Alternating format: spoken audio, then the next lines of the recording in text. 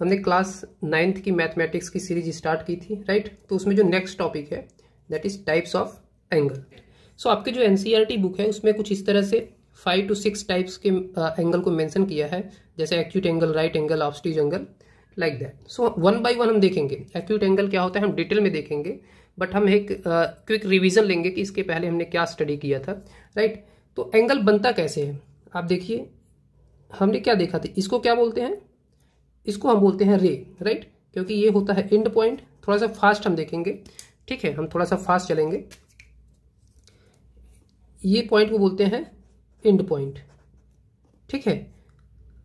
Right ये हमारा दिखाता है, ये एरो मार्क क्या दिखाता है? एरो मार्क दिखाता है ये हमारा जो है कंटिन्यूस इनफाइनाइट तक हमारा, इसकी लेंथ जो है इनफाइनाइट है राइट इसको बोलते हैं रे, ठीक है? ये हमने इसके पहले देखा था। तो एंगल कैसे बनता है? जैसे मान लेते हैं, ये हमारे पास एक रे है, ठीक है?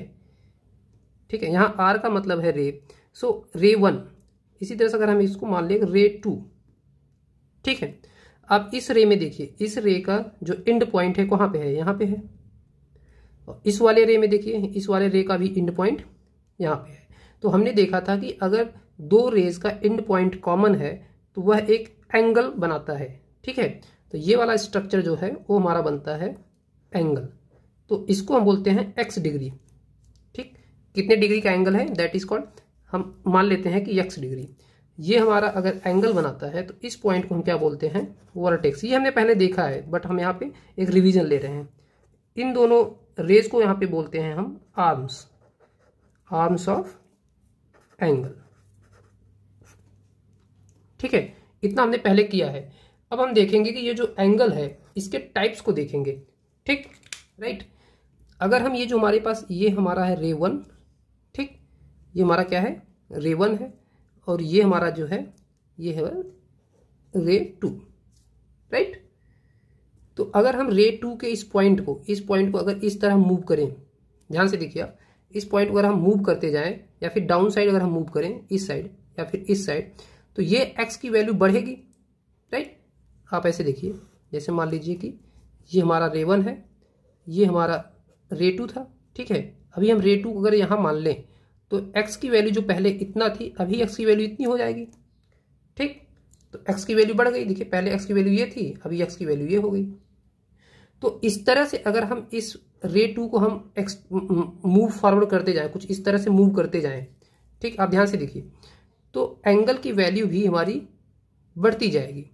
इजेंट इट देखिए, ये एंगल की वैल्यू ये है। आप देखिए, यहाँ से कर लेंगे, इसकी एंगल की वैल्यू इतनी हो जाएगी। अब देखिए, इसकी एंगल की वैल्यू इतनी हो गई। तो इस तरह से हम क्या देख रहे हैं कि इस रे टू को अगर हम मूव करते जाएँगे तो एंगल की वैल्यू हमारी बढ़ती जाती है। ठीक है? तो अगर हम आपसे अगर हम एक ऑब्जर्वेशन लें, ये देखिए, ये एंगल हमारा अगर यक्स है, ठीक है? तो दूसरा एंगल अगर हम ले मतलब ये वाला एंगल यक्स था अगर हम इस वाले एंगल की बात करें, इस वाले एंगल की, ध्यान से देखिए, कुछ इस तरह से तो ये एंगल यक्स से बड़ा होगा इजेंट इट ये एंगल ग्रेटर देन यक्स अगर हम दूसरे एंगल की बात करें, ये भी एक एंगल है, और ये भी हमारा ग्रेटर देन यक्स होगा। तो इस तरह से डिफरेंट डिफरेंट एंगल के डिफरेंट डिफरेंट वैल्यूज़ के एंगल्स हमारे बनते जाते हैं।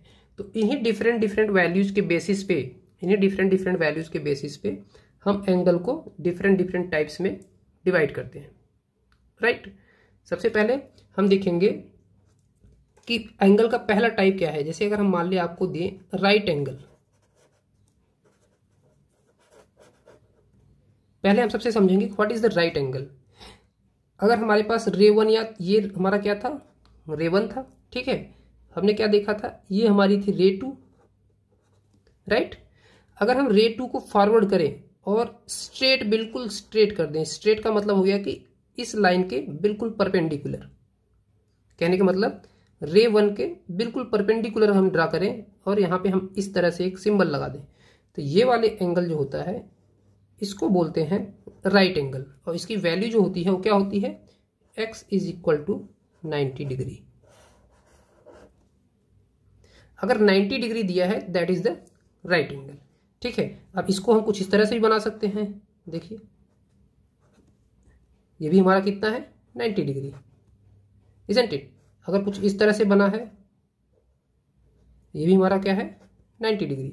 तो किसी तरह से बना हो, अगर दोनों आर्म्स इसको आर्म्स बोलते हैं, अगर दोनों आर्म्स एक दूसरे के परपेंडिकुलर हैं तो हम उस एंगल को क्या बोलेंगे? राइट एंगल ठीक है, अब आप समझ गए राइट एंगल दूसरा हम देखते हैं straight angle. Straight. Straight angle. ठीक है? स्ट्रेट एंगल का मतलब ये होता है, देखिए पहले हमारे पास मान लीजिए रे वन, ये हमारा क्या था? रे वन। इसके पहले हमने यक्स की वैल्यू कुछ इस तरह से देखी थी, रे टू। ये हमारा रे टू था पहले इजेंट इट ये हमारा यक्स था। ठीक है? अगर हम रे टू को, ध्यान से देखिए रे टू को हम मूव फॉरवर्ड करके स्ट्रेट रख दे, बिल्कुल स्ट्रेट नाम देखिए आप स्ट्रेट एंगल बिल्कुल स्ट्रेट रख दें। ये हमारा रे टू हो गया। अब देखिए, ये पॉइंट हमारी हो जाती है वर्टेक्स ठीक?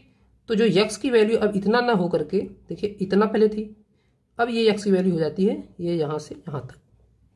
तो इसको बोलते हैं हम स्ट्रेट एंगल और स्ट्रेट एंगल में एक्स की वैल्यू होती है 180 डिग्री। यहाँ पे एक्स की वैल्यू कितनी हो जाएगी? 180 डिग्री। तो आप ध्यान से देख लीजिए कि राइट एंगल में एक्स की वैल्यू 90 डिग्री होती है और स्ट्रक्चर कुछ इस तरह से बनता है। दोनों आर्म्स एक दूसरे के परपेंडिकुलर होते हैं राइट यहाँ पे दोनों आर्म्स एक दूसरे के स्ट्रेट होते हैं, बिल्कुल स्ट्रेट होते हैं, ठीक है? तो ये आपने देख लिया right angle and straight angle इसके बाद हम नेक्स्ट देखते हैं। थर्ड हम देखेंगे कि एक्यूट एंगल ठीक है? थर्ड वन इज़ एक्यूट ठीक है? एक्यूट एंगल अब ये एक्यूट एंगल कैसे डिफाइन करते हैं? देखिए, अभी तक आपने क्या देखा? ये हमारा मान लीजिए रे वन है, ठीक है? ये हमारा रे वन है। आपने ये देखा कि ये होता था, ये क्या हो ये हमारा रे अगर टू मान ले, ठीक? अगर हम ये रे टू मान ले तो ये हमारा कौन सा एंगल होता था? राइट एंगल होता था इजेंट इट आपने देखा ना ये? इसको हम बोलते थे नाइन्टी डिग्री ठीक? तो इसको क्या पढ़ते थे? राइट एंगल बट अगर एक्स की वैल्यू अगर एक्स की वैल्यू इससे हम कम रखें, ठीक है? अगर हम रे टू को इधर कहीं ड्रा करें, इस तरह से तो x की वैल्यू ये जो वैल्यू है, ये x 90 से कम है इजेंट इट 90 मतलब ये वाली लाइन है ना? आप समझ रहे हैं कि ये 90 लाइन है तो 90 से अगर हम कम रखेंगे सो एक्स की वैल्यू 90 से कम है। ठीक? और ये ज़ीरो डिग्री होती है तो ज़ीरो डिग्री से ज़्यादा है। तो हम कह सकते हैं कि एक्यूट एंगल जो होता है एक्स की वैल्यू ज़ीरो से ज़्यादा एंड नाइनटीन से कम। अगर कि एंगल की वैल्यू ज़ीरो से हायर एंड नाइन्टी डिग्री से कम है तो उसको बोलते हैं एक्यूट एंगल जैसे थर्टी डिग्री थर्टी डिग्री क्या है? एक्यूट एंगल है। Forty five degree. Acute angle है। Sixty degree. एक्यूट एंगल है। Seventy five. एक्यूट एंगल है। Eighty nine. ये भी हमारा एक्यूट एंगल है। इस तरह से आप ढेर सारे एंगल को लिख सकते हैं, जैसे टेन, ट्वेंटी लाइक दैट ठीक है? ये हो गया हमारा acute angle so third point जो है थर्ड हमारा जो टाइप है that is the obtuse angle ठीक है? ऑप्टिव एंगल जो होता है, देखिए, ये हमारा, मान लेते हैं कि रेवन है।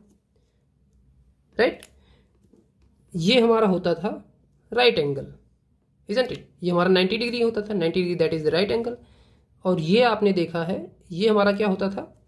अगर इसकी हम बात करें, ये हमारा होता था 180 डिग्री और that is the straight angle ठीक है? तो ऑप्टिव एंगल जो होता है ऑप्टिव एंगल का मतलब अगर इन दोनों के बीच में कोई एंगल है, इन दोनों के बीच का मतलब रे टू हमारा कहीं यहाँ पे अगर है, देखिए कुछ इस तरह से। ठीक है? राइट तो एक्स की वैल्यू क्या हो जाएगी? एक्स की वैल्यू ये होगी।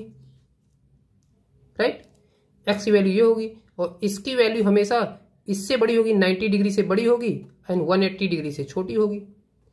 तो ऑप्टिज एंगल कहने का मतलब है कि अगर एक्स की वैल्यू 90 डिग्री से 90 डिग्री से अगर बड़ी है और लेस देन 180 डिग्री ठीक है? तो इसके केस में, इसके केस में हम बोलते हैं ऑप्टिव एंगल एग्ज़ाम्पल जैसे hundred degree one twenty degree one thirty degree ये भी हमारा ऑप्टिज एंगल है, ठीक है? नाइन्टी फाइव डिग्री ये भी ऑप्टिज एंगल आएगा। तो ये सारे जो हैं, ये सबके सब हमारे आते हैं ऑप्टिज एंगल ठीक है? कोई भी एंगल हो, बस 90 डिग्री से बड़ा होना चाहिए और 180 डिग्री से छोटा होना चाहिए। ठीक है? ये हो गया ऑप्टिज एंगल इसके बाद जो आता है that is the reflex angle अगर हम फोर्थ पॉइंट की बात करें that is the reflex angle ये मैं बाद में लास्ट में आपको समराइज कर दूँगा सारे पॉइंट्स को एक जगह, जैसे obtuse angle acute angle reflex angle एक जगह लिख करके मैं आपको समराइज करूँगा जिससे आपको समझ में आ जाए। ठीक है? रिफ्लेक्स एंगल की अगर हम बात करें। ठीक? तो रिफ्लेक्स एंगल जो होता है, अगर ये रे वन है, ठीक है? ये होता था यहाँ तक, ये वाला होता था 180 डिग्री राइट अगर ये वर्टेक्स मान लें तो ये हमारा ये वाला एंगल होता था 180 डिग्री अगर 180 डिग्री से ज़्यादा इससे बड़ा अगर कोई एंगल मिल गया मतलब इसकी हम बात कर रहे हैं यहाँ से ये वाला एंगल तो ये वाला एंगल एक्स की वैल्यू निश्चित रूप से ज़्यादा होगा 180 डिग्री से. इजेंट इट क्योंकि 180 डिग्री यहीं तक होता था 180 डिग्री ये वाली लाइन होती थी. ठीक है? तो कहने का मतलब अगर कोई एंगल कुछ इस तरह से है, ये देखिए यक्स तो इसको हम बोलेंगे रिफ्लेक्स एंगल तो इसमें रिफ्लेक्स एंगल में हमेशा एक्स की वैल्यू एंगल की वैल्यू जो होती है, वो 180 डिग्री से बड़ी होगी एंड 360 डिग्री से छोटी होगी। इसको हम बोलते हैं रिफ्लेक्स एंगल ठीक है? तो इस तरह से आप इसको ध्यान से पढ़िए और चीज़ों को रिवाइज करिए। एक आपके लिए क्वेश्चन है, ये बहुत ही इंपॉर्टेंट क्वेश्चन है। सो इसको हम सबसे पहले देख लेते हैं। आपको सब कुछ क्लियर हो जाएगा। ठीक है? तो आप देखिए एक्यूट एंगल क्या होता है? एक्यूट एंगल का मतलब ये है कि अगर x की value greater than zero less than ninety isn't it ठीक है? तो हमारा एक्यूट एंगल का आएगा किसमें? थर्टी डिग्री में। राइट और राइट एंगल कितना होता है? यक्स की वैल्यू हमारी होनी चाहिए कितना? नाइन्टी डिग्री तो ये वाला हो जाएगा राइट एंगल का फ़र्स्ट ऑप्शन, ऑप्टिज एंगल कितना होता है? ऑप्टिज एंगल का होता है